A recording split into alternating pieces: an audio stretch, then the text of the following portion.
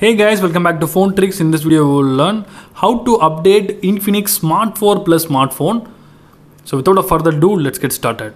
First of all, you need to open settings. Then scroll down to bottom, then choose system. Now you can find system update in the menu. You need to click that.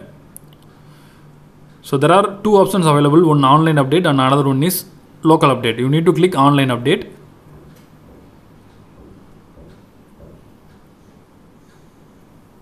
It will automatically start the download if the system update is available for Infinix Smart 4 Plus.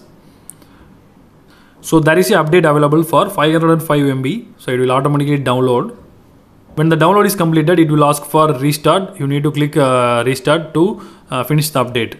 That's all guys. I hope this video is very useful to you. If you like this video, click thumbs up and do subscribe our channel for more videos. Thank you.